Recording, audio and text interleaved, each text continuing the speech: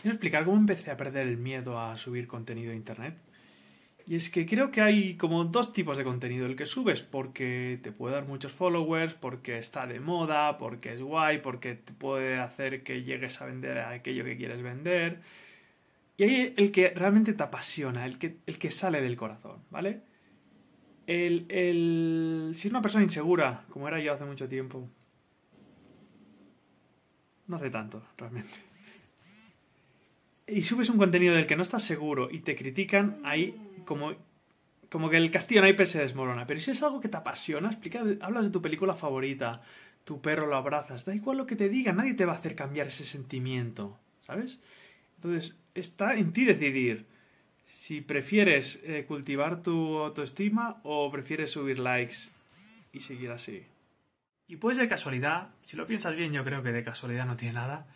Los contenidos que haces con el corazón eh, generan mucha más eh, interacción, más interés en la gente. No, no ven el, subconsciente, o sea, el ser humano tiene como el subconsciente de sí, sí, me está diciendo esto, pero me está intentando vender por detrás eh, aquello otro. genera más, más predisposición a, interactuar o, a felicitarte o agradecerte o exponer su punto de vista.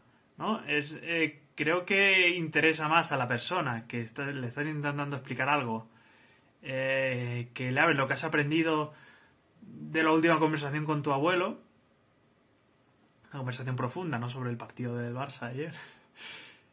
Y que él rilde... ¿No? Yo al menos eh, pienso que es así, sinceramente.